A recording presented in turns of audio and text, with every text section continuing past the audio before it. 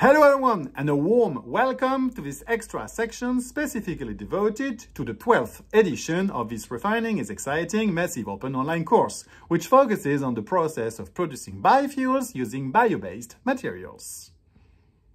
In the previous sections, our attention was directed towards the fundamental stages involved in producing bio-naphtha, biojet and biodiesel. For this section, my proposal is to center our attention on the carbon intensity of these biofuels. The production of these biofuels necessitates the use of gas, which is burnt in heaters, along with electricity required for pumps and compressors, as well as steam. We will start by the pre-treating stage and perform all calculations based on a 100 tons per hour processing throughput. As previously mentioned, we require approximately 10 tons per hour of steam to heat the bio-based material to the appropriate temperature. Additionally, there will be pumps involved in the process that consume electricity, as well as centrifuge, and our estimate for their usage stands at 700 kilowatts. In regards to the HDT hydrodeoxygenation stage, it's worth noting that we generate steam, which is subsequently consumed in the stripper. Overall, the net balance results in a steam production of approximately 21 tons per hour. Accounting for the energy usage of the pumps and compressors, the total electricity consumption amounts to around 4.8 megawatts. Similar deductions can be made for the HDI stage, which results in electricity consumption of roughly 700 kilowatts steam consumption of 1.5 tons per hour in the stripper, and a gas consumption of approximately 0.3 tons per hour. It's also crucial to take into account the amine unit. As a reminder, the recycled gas from the HDT stage is washed with an amine, and this amine must be regenerated using steam. The estimated steam consumption for this process is 10 tons per hour. Consequently, at the bottom of the page, we can observe a steam requirement that is nearly negligible, an electricity consumption amounting to roughly 3.3 megawatts, and a gas consumption of around 0.3 tons per hour. It's now time to determine the carbon intensity of these bioproducts. Assuming nuclear power is the source of electricity, the carbon footprint can be estimated to be 12 grams of CO2 per kilowatt hour.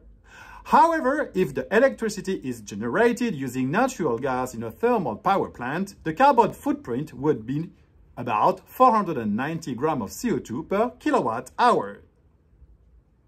The combined quantity of biofuel produced with the total energy value are 6.5 plus 2 plus 82 equals 90.5 tons per hour we can assume a conventional value of energy of 43 megajoule of energy per kilogram for each of these fuel composed of carbon and hydrogen each. Therefore, we can convert each item into gram of CO2 per hour. For the electricity, for example, the conversion is a simple multiplication by 12 or 490 depending on its source. As for gas, we need to multiply by the emission factor of natural gas, which indicates that for every gram of natural gas consumed, 2.75 grams of CO2 are produced. After performing the calculations, we arrive at the following result. To obtain the carbon intensity values, we divide the gram of CO2 emitted by the energy amount of energy produced, which is 90.5 multiplied by 43 megajoule per kilogram. Therefore, considering the carbon emissions related to the pretreatment process, HDT, HDI, and amine section, the resulting carbon footprint is less than 1 gram of CO2 per megajoule of energy produced.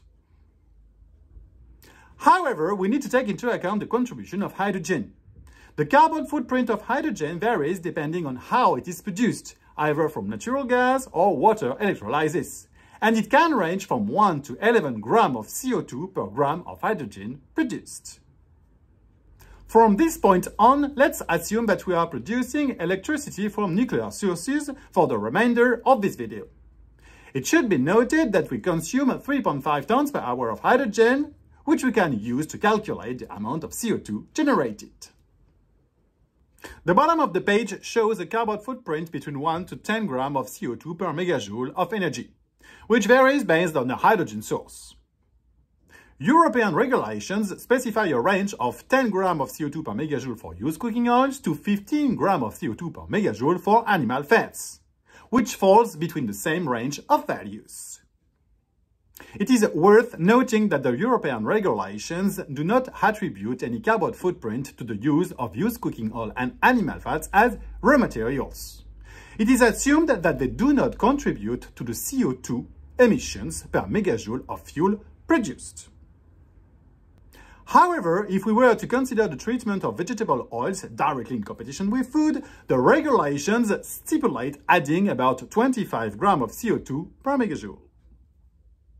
On the overall life cycle, when biodiesel is burnt, CO2 will be emitted, but since the carbon comes from biomass instead of fossil energy, it is not counted towards the carbon footprint, unlike fossil fuels made from oil. Therefore, throughout its life cycle, this biodiesel will have produced a carbon footprint ranging from 1 to 11 grams of CO2 per megajoule, while a conventional fossil fuel emits 94 grams of CO2 per megajoule according to European regulations. To produce fossil fuel, it requires approximately 20 grams of CO2 per megajoule taking into account the emissions from oil extraction, refining and distribution.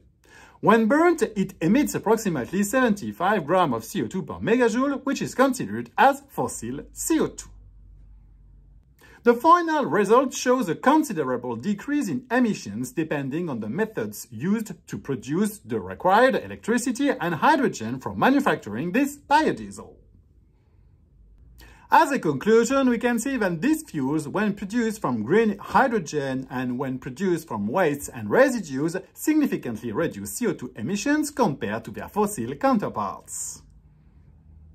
Well, this is the end of this MOOC dedicated to biofuels. Thank you very, very much for your attention and see you very soon for more videos. Bye-bye!